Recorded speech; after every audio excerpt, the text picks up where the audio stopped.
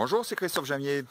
Je viens vers vous, vous êtes certainement dirigeant de votre entreprise ou vous êtes DRH, ou vous êtes responsable de votre équipe. Et puis vous avez une stratégie d'entreprise qui consiste effectivement à conquérir les euh, marchés étrangers.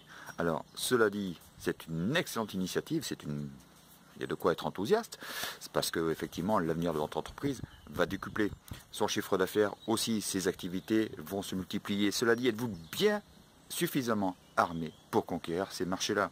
Alors, il y a plusieurs stratégies, mais la première, à mon sens, elle est humaine. Est-ce que sur le plan humain, vous êtes prêt à conquérir ces marchés-là? Alors, il y a plusieurs façons d'aborder le sujet. Pour ma part, déjà, la première, en dehors du fait qu'effectivement vous allez exporter une technique, une technicité, il y a l'aspect du langage. Est-ce que vous êtes armé Est-ce que vos équipes sont armées? Est-ce que vos fers de lance commerciaux sont armés sur la pratique de la langue anglaise? Et c'est un point crucial, capital.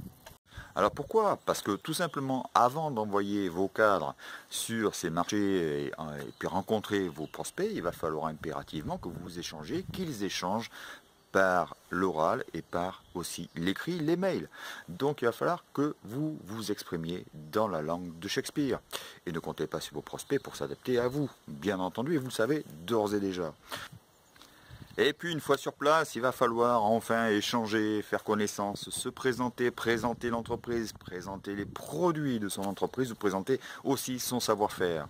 Alors ça va être compliqué de faire si on ne parle pas la langue de son prospect.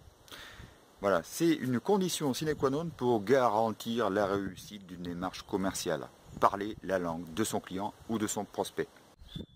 Donc j'ai développé une formation en anglais tout simplement qui peut être configurée, modulable en fonction des besoins propres à votre entreprise, à vos cadres par rapport au niveau qu'ils ont déjà actuellement. Et non seulement au niveau qu'ils ont déjà, mais aussi par rapport à l'activité même de votre entreprise. Voilà. Alors, effectivement, c'est quelque chose qui est beaucoup plus technique. On n'a pas besoin forcément d'un anglais absolu, général, global et être bilingue comme un anglais de souche.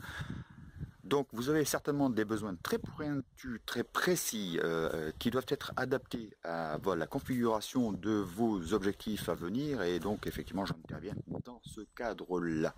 Alors j'ai développé une formation spécifique, je vous invite à venir me retrouver sur mon site que vous retrouvez ici, tout simplement pour que nous puissions en parler.